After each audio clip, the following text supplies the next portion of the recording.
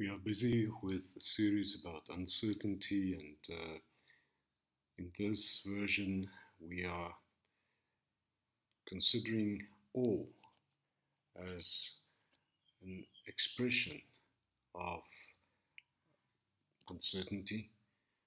Together, we will enter the conversation with uh, awe and wonder and uh, try and get to a working understanding of awe and uh, then bring it into the context of care and self care. So, first of all, we'll be discussing what might awe be, and followed by why do we experience awe?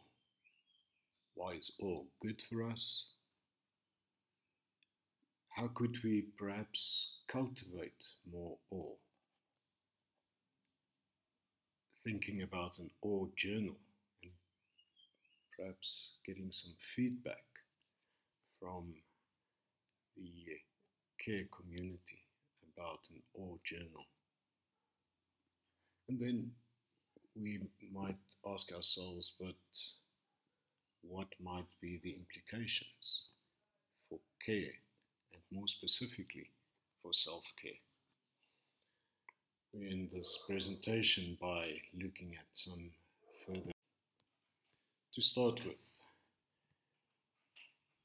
we might consider typical expressions and experiences of awe as they are represented in these pictures. How might we describe awe. Awe is generally considered to be uh, a combination of two factors.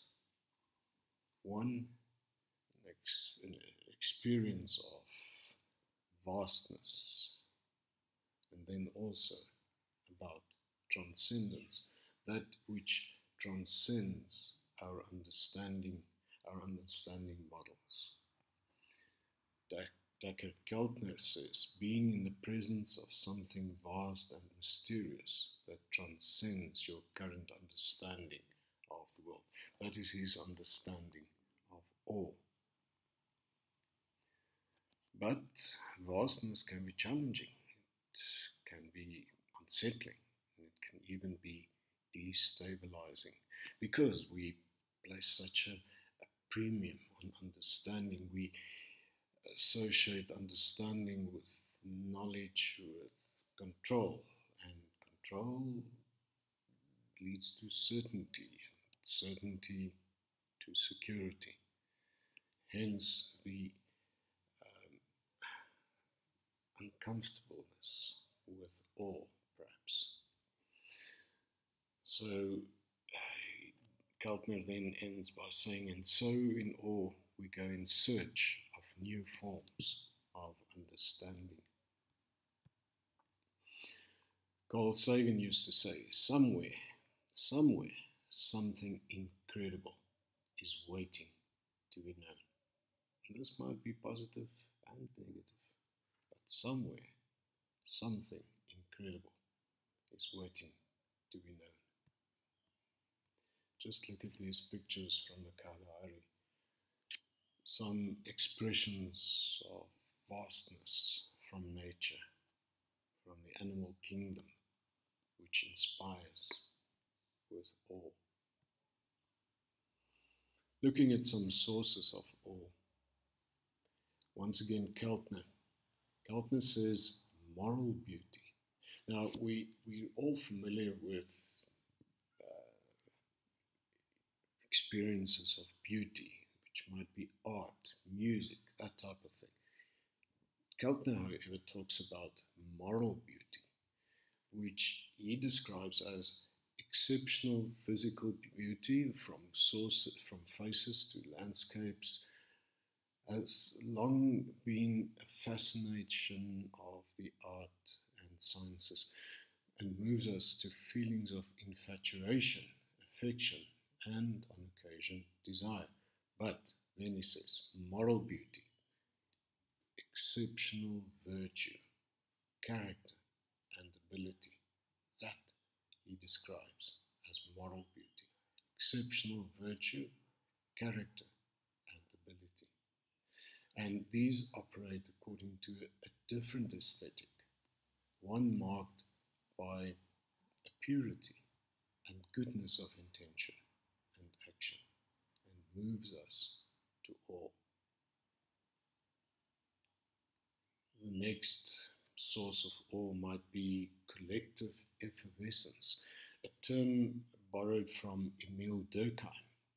And that speaks to the qualities of emotional experiences.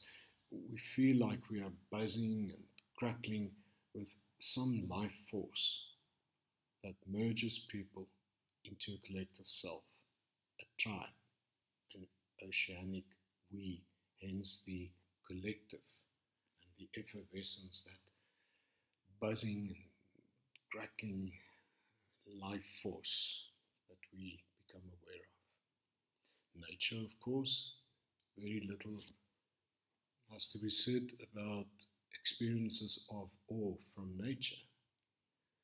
Uh, says often what inspired natural awe was a cataclysmic event earthquakes, thunderstorms, lightning, wildfires, gale force winds, and tsunamis. Not always pleasant experiences, cataclysmic, but still inspiring of awe. Music. We all have experienced a sense of awe listening to beautiful music. Keltner, once again, transporting people to new dimensions of symbolic meaning. These experiences in experiences at concerts, listening quietly to a piece of music, chanting in a religious ceremony, or simply singing with others.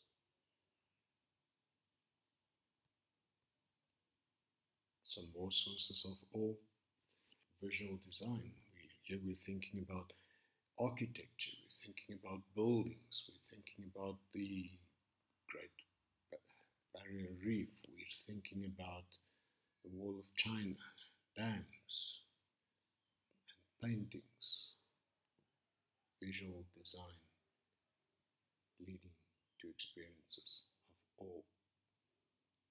Of course, spirituality and religion.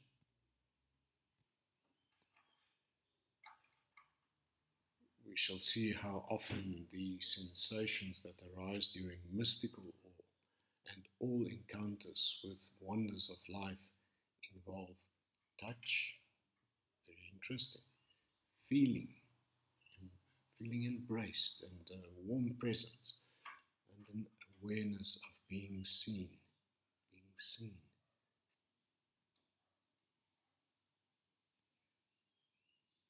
Clues perhaps to the deep origin of, the, of emotion. And then, or when we're experiencing life and death, a baby being born, somebody close to us, a beloved one, dying. We're awestruck by how, in an instant, life comes out of a womb. And on the other end of the life death cycle, when a person makes the transition from being a breathing physical being to some other form of existence. And lastly, the eighth one, epiphany, when we suddenly understand essential truths about life.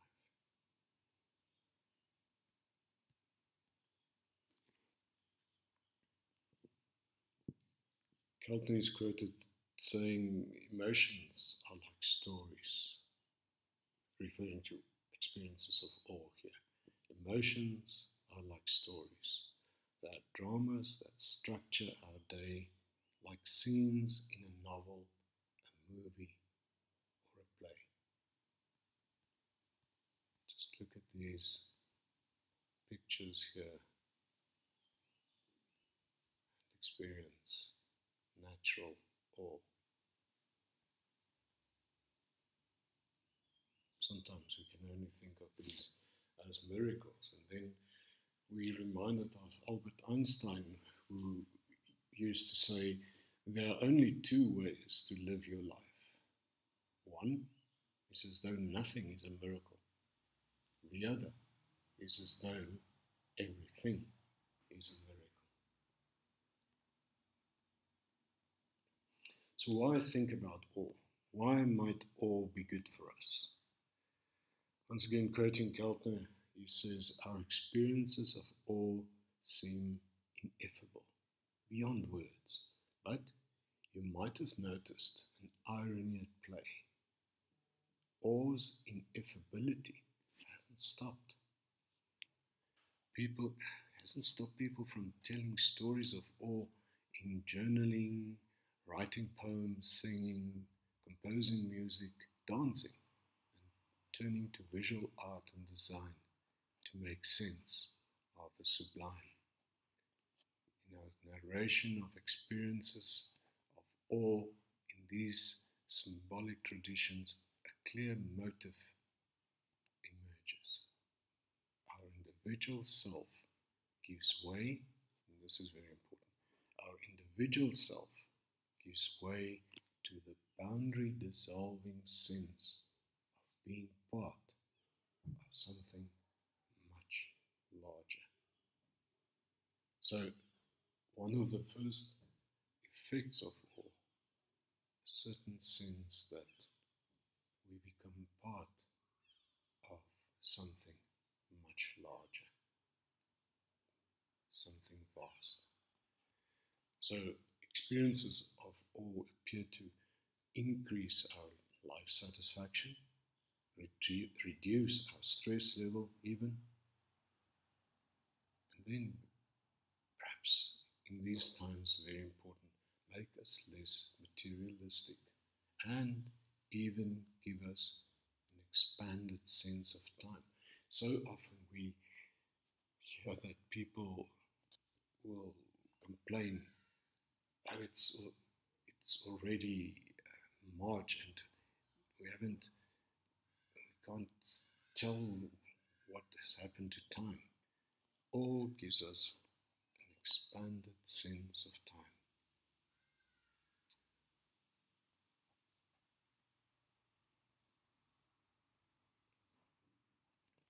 So, if there are these benefits from awe, if we might derive these benefits from awe, how might we then cultivate awe? Perhaps by living more in the present moment. Perhaps by being more mindful, venturing into nature, making a regular point of going somewhere where you are in nature. Just experience the vastness in the smallness and the bigness. And then, yes, all from vastness. When we look up at the night sky, for instance, mind bending, all that we experience when we are uh, when we encounter courage and inspiration, then when we have that feeling of timelessness, we recognize from gratitude, just thinking about everything that we've got to be grateful for, and then making all a habit, experiencing it in our comfortable habits, in our safe habits, perhaps, or through social connection.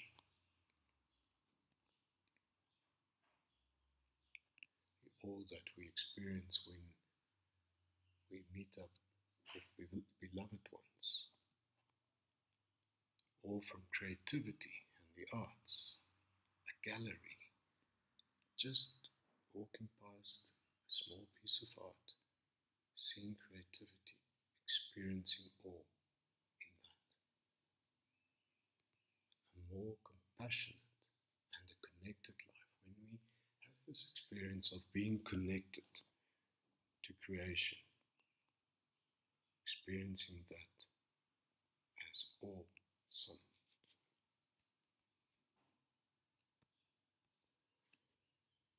Helen Keller says, although the world is full of suffering, it is also full of the overcoming of it. Food for thought, inspiring with an experience of awe. It's a very good idea to start up an awe journal and like this a start off with a, an awe journal as a 30 day project for instance play on the words awesome to experience awe together. Afrikaans word psalm, or psalm. So, an invitation, perhaps when you listen to this, an invitation to once again for the next 30 days or so, join me on a journey, a journey with awe, where you become sensitized to vastness and transcendence.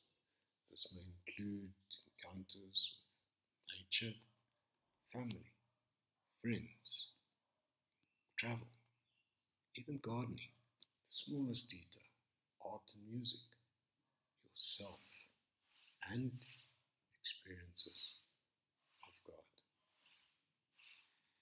Journal with me as we embrace an awareness and consciousness of all.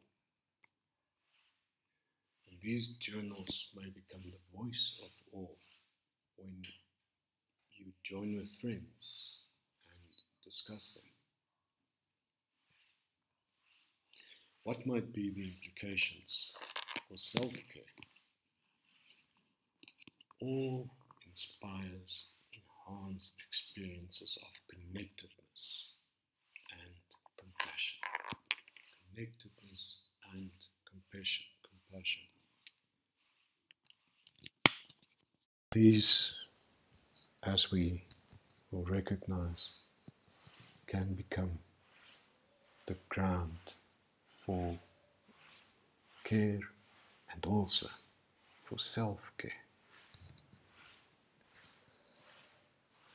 The sense of connectedness invites a, a counter narrative against isolation isolation perhaps being one of the most critical dangers of our time. So, how does awe transform us? By quieting the nagging, self critical, overbearing, status conscious voice of ourself, or ego thing and empowering us to collaborate rather, to open our minds to wonders and to see the deep patterns of life. Walt Whitman, I celebrate myself and sing myself, and what I assume, you shall assume. For every atom belonging to me, as good belongs to you once again, food for thought. Diane Ackerman says, Wonder is the heaviest element on the periodic table. Even a tiny flick of it stops time. Just look at these pictures. Once again, Botswana and the Kalahari. Kalahari two more quotes, one from Albert Einstein, the other from Rachel Carson. Einstein, the most beautiful experience we can have is the mysterious. It is the fundamental emotion which stands at the cradle of true art and science. Carson, a sense of wonder so indestructible it would last throughout life as an unfailing antidote against the boredom and disenchantments of later years, the sterile preoccupation with things that are artificial, the alienation from the sources of our strengths.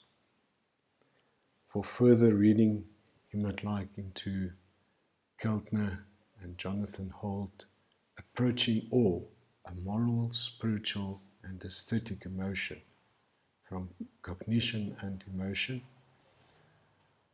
Keltner and Paul uh, Paul K. Piff, self transcendent awe as a moral grounding of wisdom.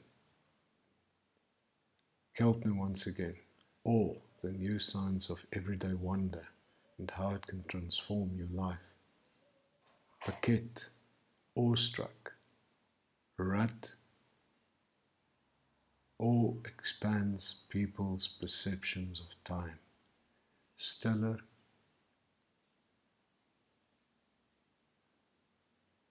self transcendent emotions and their social functions. And then John Sarre, inspiration, inspiring wonder, awe and empathy, spiritual developing development in young children. Just look at this picture from the Kalahari. Isn't that awe inspiring?